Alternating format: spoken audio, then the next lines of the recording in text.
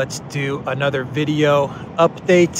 And this one, we're going to be talking about what happened during the negotiations in Turkey between Russia and Ukraine. And this is day one of uh, two days of negotiations. But you've had ongoing negotiations as well all this time via video and, um, and a couple of meetings in Belarus as well. But it looks like we're close to some sort of treaty, perhaps a ceasefire, a treaty. Let's see. And I'm saying that we're close to a treaty because that's the reports that we're getting from TASS, which is um, the uh, state, state media. So for them to to put that out there that we are very close to some sort of uh, negotiated settlement is meaningful. We don't know much, but I'm going to try to relay to you what we do know. And this is from TASS. To pull out my phone here so I make sure I get everything right. And this is from TASS, and it says The agenda of the Russian Ukrainian talks includes the issue of recognition by Kiev of modern territorial realities. Russian Foreign Minister Maria Zakharova said, quote, on the agenda are permanent neutrality, non-bloc status, security guarantees, demilitarization of Ukraine, denazification, recognition of modern territorial realities, restoration of the status of the Russian language and the rights of Russian speaking population. In other words, we are talking about the return of Ukraine to its origins of its statehood enshrined in the Declaration Sovereignty of 1990, Zakharova, Zakharova stressed. That is important. That last line is really important. In other words, we are talking about the return of Ukraine to the origins of its statehood enshrined in the Declaration Sovereignty of 1990. Now, these are uh, some pretty big uh, big demands coming from Maria Zakharova from the Foreign Ministry, Russia, the Kremlin. I, I doubt that the Azov uh, Nazi battalions and the far right uh, influence, the Nazi influence in the Ukraine government will uh, agree to these terms. But that's beside the point. Let's let's get to some of the, the details that we do know. And when I say details, I, I say this very loosely because we really don't have much right now. But the the big story, the big story has to do with the fact that military activity um, in in and around Kiev and uh, will be paused. Will be paused. Will be drastically reduced. I'm looking at my uh, at, at the article here. Will be drastically reduced, and that's a quote. Uh, Russia has drastically reduced its military activity near Kiev and Chernigov as talks with Ukraine enter the practical stage, the Deputy Minister of Defense, Alexander Fomin, announced on Tuesday.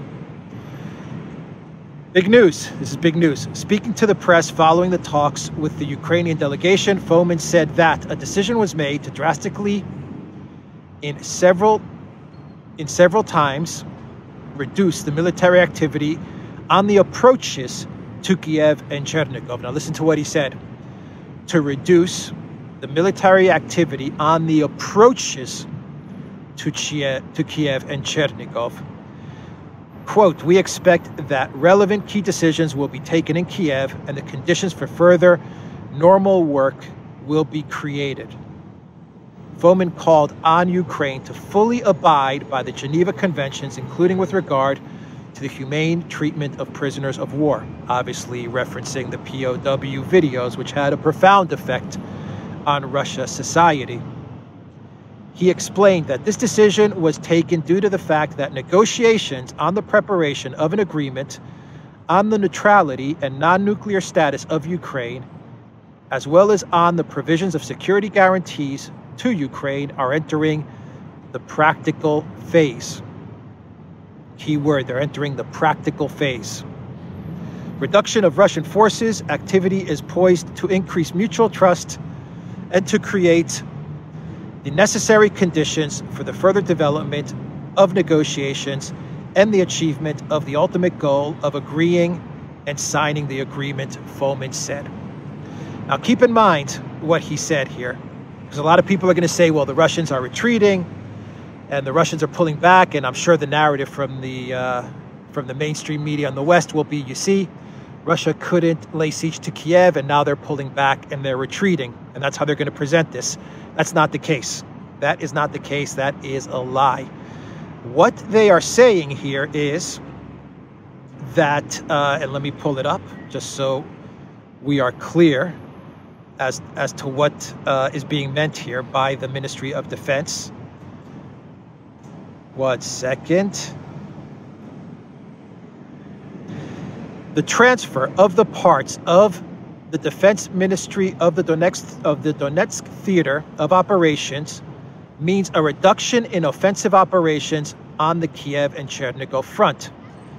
As the source explained to Readovka, which is a publication, many times I show the maps of uh, Readovka, as the source explained, the latest statements by the Ministry of Defense does not mean the secession of the work of our military in controlled territories. It is precisely about reducing the number of offensive operations. Our troops will remain in their position in the numbers necessary to carry out new tasks. Everything is being done for the speedy achievement of the goals set by Shoigu, the defense minister of Russia, the elimination of the Donetsk grouping of the enemy, and the liberation of the territory of the LDNR. So basically, what uh, what they're saying here is that the military is in Kiev and Chernigov is not going to press forward. They're going to remain as is they're going to continue to pin down the Ukraine military in Kiev and in Chernigov. In other words, the encirclements, the cauldrons will still remain in place, but they're just not going to press further. There's not going to be any activity to uh, to press further or to engage with the Ukraine military. They're going to remain as is. That is what they're saying in order to allow for uh, a, a negotiated settlement to take place. Now, keep in mind, the fact that Russia is agreeing to this, or the fact that Russia is making this statement that in Kiev and in Chernigov, the activity is going to be reduced, the, the forward activity, the forward military activity is going to be reduced or is going to be paused, does not mean that uh, the activity in the Donbass and in the east is going to be paused. I believe they're going to continue to move forward with the annihilation of the uh, the Azov battalion and the Azov uh, military in the east of Ukraine as planned. So what's going to happen in the east is that they're going to continue to to grind down the Azov soldiers, while in Kiev and Chernigov you're going to see a pause in any type of forward military activity, while you're also going to be seeing the negotiations and the diplomatic solution move towards what the Russians call a practical phase, practical steps towards an eventual signing, perhaps an eventual signing of some sort of negotiated settlement. Now, let me take you to another, uh, some more statements made from, uh, from these negotiations. Moscow's envoy described the conditions for Putin's talks with Zelensky there are talks now that uh, Putin may be meeting with Zelensky. And uh, Moscow's envoy said that Russia has agreed to meet Kiev halfway and will allow a meeting of its leaders to be held on the same day that the final version of a peace treaty is pre approved by the two nations' foreign ministers. Moscow's top negotiator said on Tuesday after a new round of talks in Istanbul. Previously, Moscow had insisted that a meeting between Putin and Zelensky could only be set after the deal would be finalized. Vladimir Medinsky, who is the main negotiator, described the talks in Turkey as constructive and said his delegation had received a clearly outlined position on what Kiev sought to achieve. The written proposal, which includes Ukraine's pledge to remain a neutral nation and that it will not try to obtain any weapons of mass destruction including nuclear weapons, will be relayed to Putin, Medinsky said.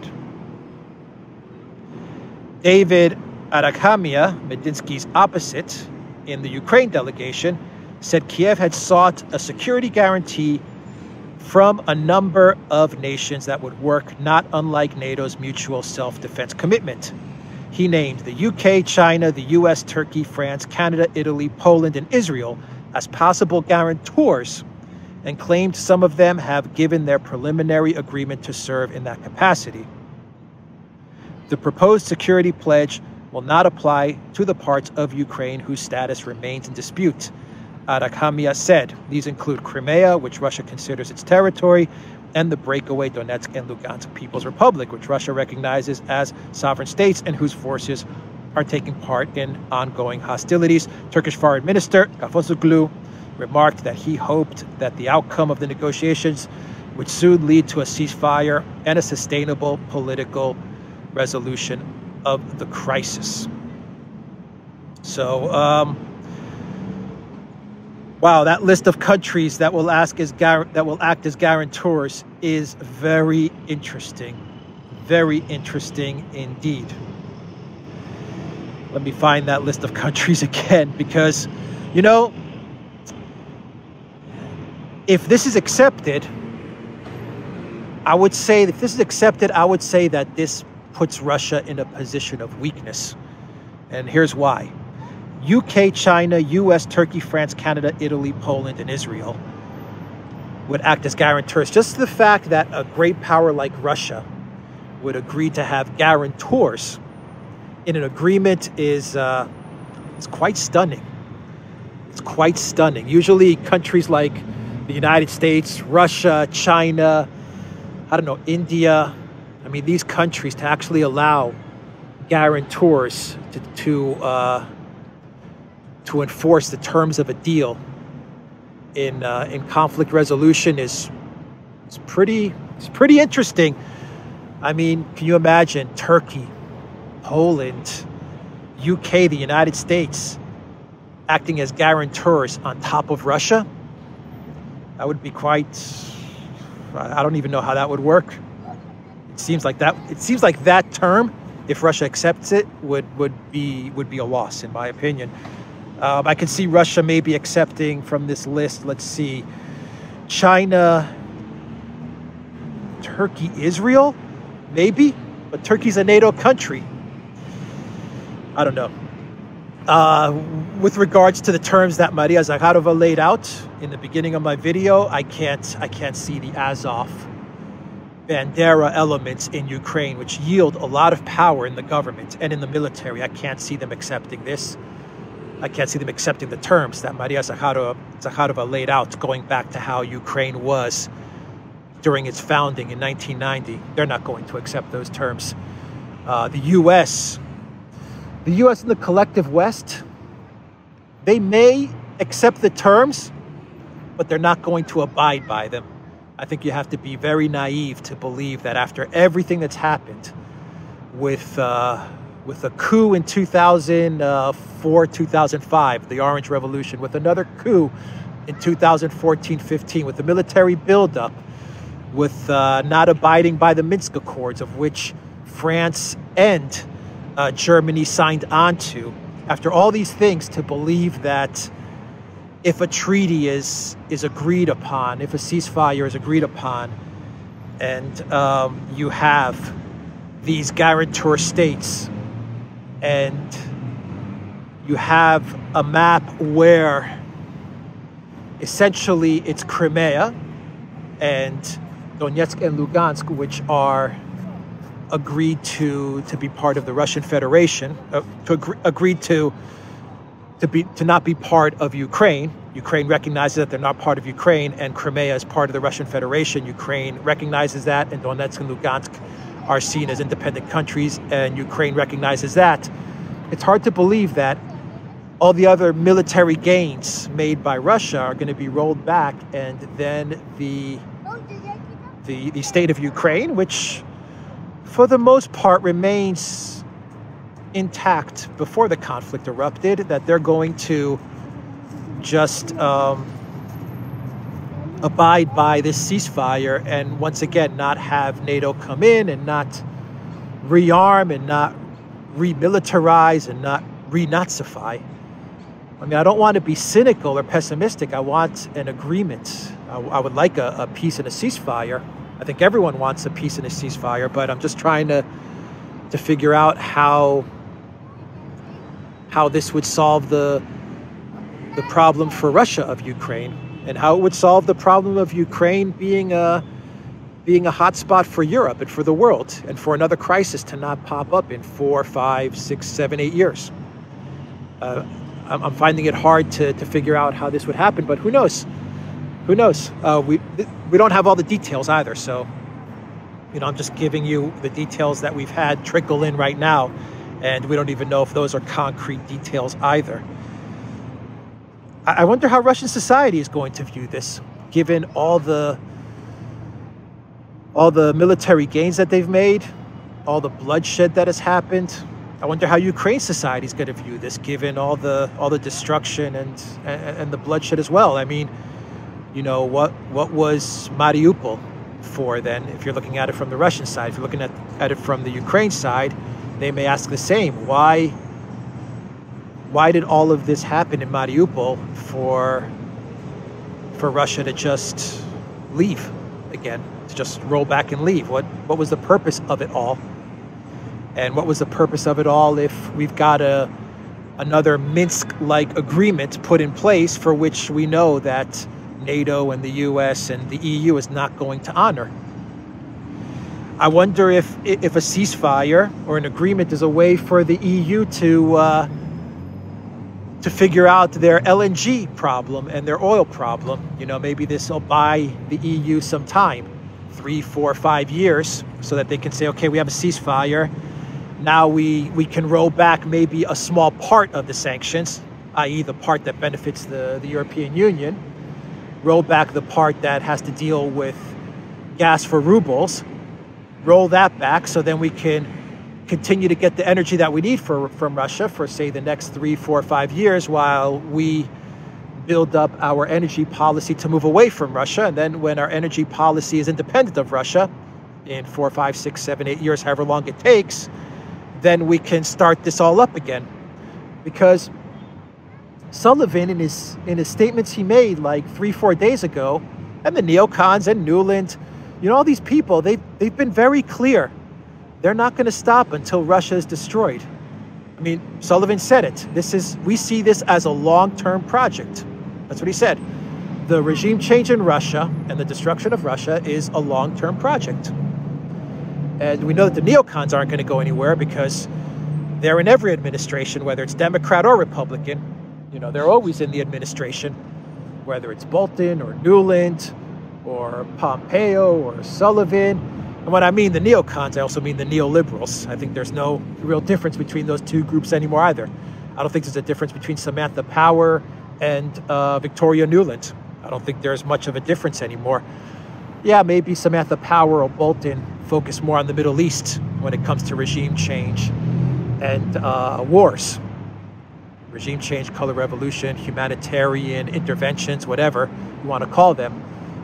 But, uh, you know, Victoria Nuland, okay, she focuses more on Russia and, Ukra- and Ukraine. But at the end of the day, it's all about Russia anyway, isn't it? I mean, Syria at the end of the day was about destabilizing Russia as well. So at the end of the day, even, even the neocons that are focused on the Middle East, or the neocons that were focused on Serbia, like Madeleine Albright, at the end of the day, it, it, it all comes back around to destabilizing Russia sooner or later. I don't know how a proposal like this is going to go down with the Russian people. I really don't. I imagine there's going to be a part of Russian society that's going to look at this agreement. And once again, I preface it if this agreement is, uh, is signed, if this is actually, you know, a signed agreement a signed peace deal. I imagine there's going to be people in Russia's Russian society who are going to be very, very pleased with this because the conflict has ended, and it's been heartbreaking to see uh, Russia fight with Ukraine. But I imagine there's going to be a lot of hardliners as well in Russia who are going to to really dig into Putin for this one. They're going to say that Putin's soft on the West, and ha- that he has a blind spot towards Europe, and he does. Putin does have a have a soft spot for for Europe, especially Germany. Um, I think Nord Stream two is case in point because a lot of the hardliners were telling Putin, don't go forward with Nord Stream 2. People always got to remember that Nord Stream 2 was a German initiative. Angela Merkel approached Putin and approached Russia and said she wants Nord Stream 2. The big lie in the West, one of the biggest lies in the West, is that Putin approached Germany and approached the EU with Nord Stream 2. That's a lie. Angela Merkel and Germany approached Russia and begged Russia for a second pipeline. And there were a lot of hardliners who told Putin, don't do it.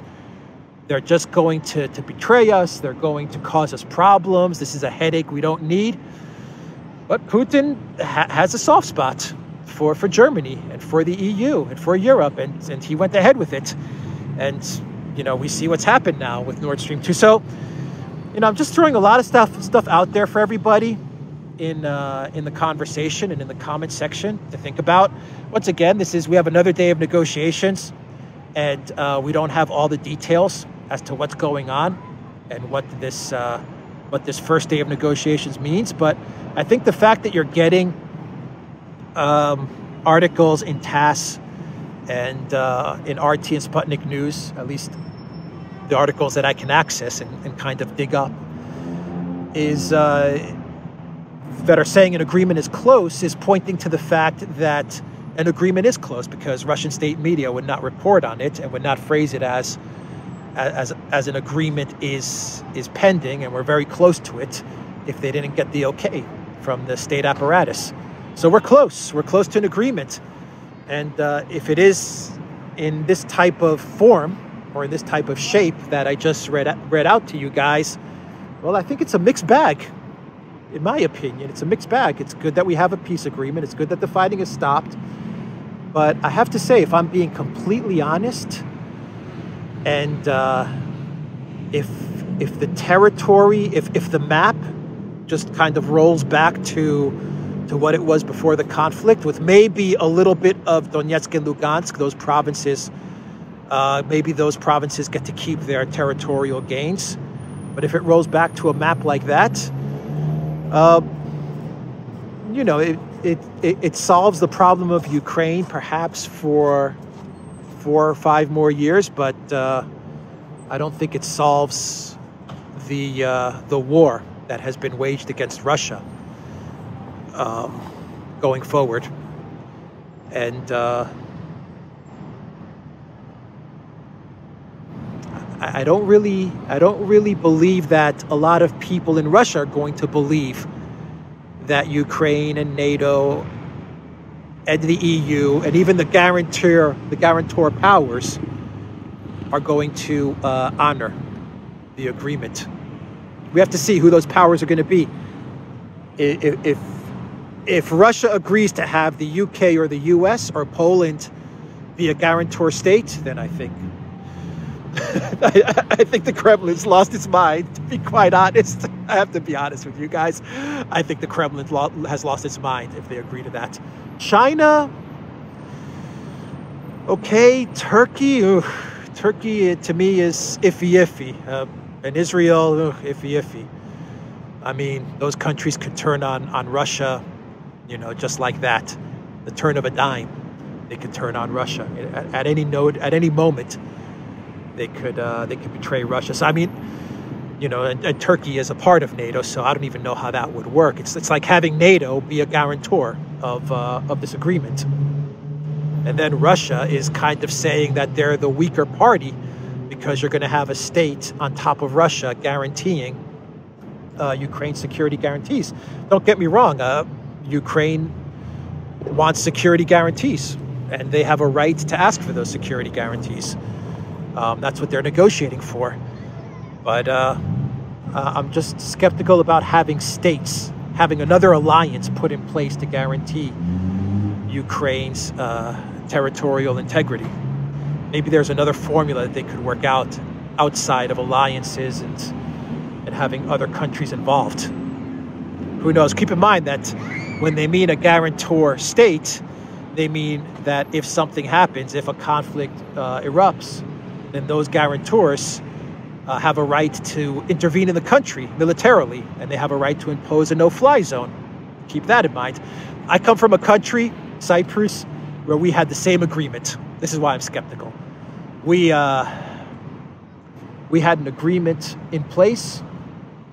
Uh, the both sides of uh, both part both uh, parties involved in the Cyprus conflict, in the Cyprus dispute, and our guarantor nations for our uh, constitution, because there were problems. To make a long story short, just to break it down and make it very simple, there were problems between the Greek Cypriots and the Turkish Cypriots, and uh, when we got our independence from the UK, and we uh, we had our constitution put in place, we had three guarantor nations to guarantee the territorial integrity and the security of Cyprus and of those two communities, the Greek Cypriots and the Turkish Cypriots. At the time, the split was around, say, 85 80 Greek, say 15 20 Turkish Cypriots. And those guarantor nations were Turkey, the UK, and Greece. And this was an agreement signed in 1960.